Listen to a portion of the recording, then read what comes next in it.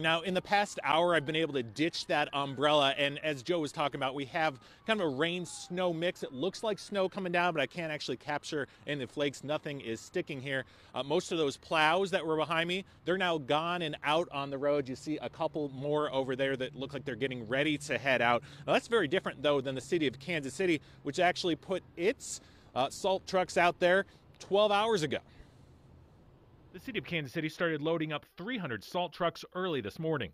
City manager Brian Platt called it, quote, an aggressive new plan. Uh, in advance of the storm, almost a full 12 hours before the storm uh, was supposed to get to town here uh, to make sure that we've got every single road in this city uh, covered with salt first. Pre-treating is very critical to uh, making sure we can get a good push on that snow and remove it off the streets quickly. But at MoDOT today, things have been mostly quiet saying there's no reason to put down pre-treatment that would likely just be washed away. With the early part of the storm being rain, um, we're ready to respond more towards a snow event, towards the, the later hours in the evening. MoDOT says careful planning has it in a good spot with months left of winter weather. You know, our salt supplies are in good shape.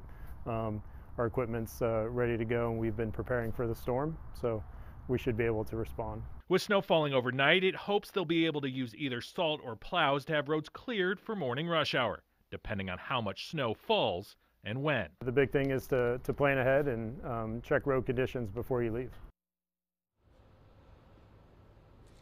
Certainly good advice there. Now, MoDOT does say that it is dealing with severe staff shortages, Lauren, and actually to, for, because of that, they're starting to move some of these salt truck and plow drivers around the state to the areas that are being hardest hit by the snowstorms this winter.